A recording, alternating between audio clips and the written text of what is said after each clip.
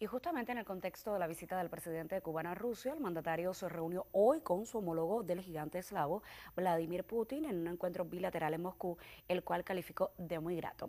En la reunión, Díaz Canel entregó a Putin una carta personal de felicitación del general de ejército y líder de la revolución cubana, Raúl Castro. Al dar la bienvenida a su colega cubano, el mandatario ruso agradeció la presencia de Díaz Canel en el desfile militar con motivo del 79 aniversario de la victoria de la Gran Guerra Patria. Además, Putin saludó la participación de Cuba como observador en el Consejo Supremo Económico Euroasiático y expresó su esperanza de que el encuentro diera sus resultados.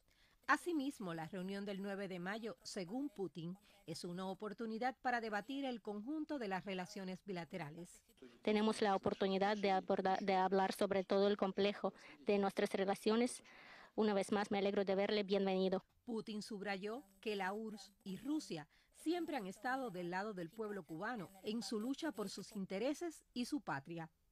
Usted sabe que la Unión Soviética, Rusia contemporánea, siempre estuvo a su lado, al lado del pueblo cubano, en la lucha por sus intereses. Y recientemente la votación en la ONU por motivo de levantamiento de bloqueo inmediato demostró que la mayoría aplastante de los países está también del lado de Cuba. Para nosotros esta visita, como las anteriores a la Federación de Rusia, siempre constituye una satisfacción y también un momento de aprendizaje.